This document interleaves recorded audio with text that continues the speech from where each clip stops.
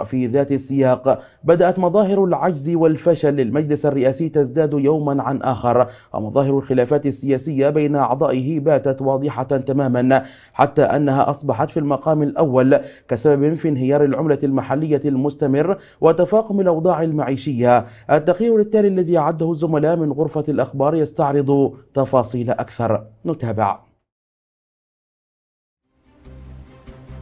كمحاولات لإنقاذ الانهيار المريع والمستمر للعملة المحلية وتدارك ويلات الانهيار الاقتصادي في المحافظات المحررة تحركات واجتماعات مكثفة لرئيس مجلس القيادة والحكومة لكنها أثارت معها الكثير من التساؤلات حول جدوى كل ذلك.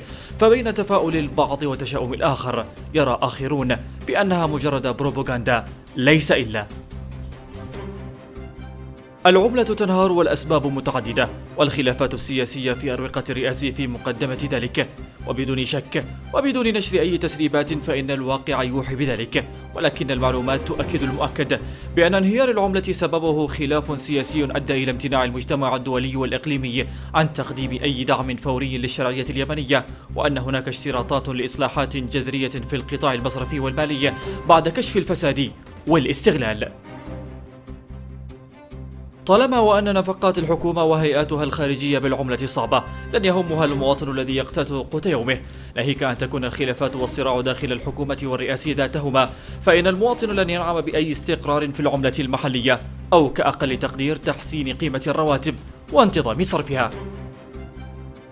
وتفيد التقارير المسربة من داخل أطراف الرئاسي ذاته أن قوام تشكيله لم يعد مجديا طالما وأنه أضحى بهكذا فاعلية على الواقع وتحميل كل طرف فشل الآخر. فالبحث اليوم عن شرعية جديدة لرئيس لمجلس القيادة ونائبان فقط ولكن هناك مقترح آخر ينم عن إرادة دولية في شرعنة رئيس ونائب الله. وفي ظل هذا وذاك ينطحن المواطن بين غلاء فاحش في الأسعار وأزمة إنسانية هي الأسوأ على مر التاريخ.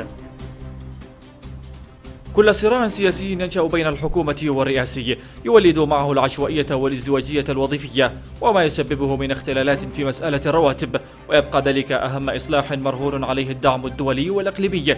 وفي نهاية كل هذه المعلومات تم الكشف على أن التوقيع على التغييرات الجديدة والتسوية بات قريبا جدا.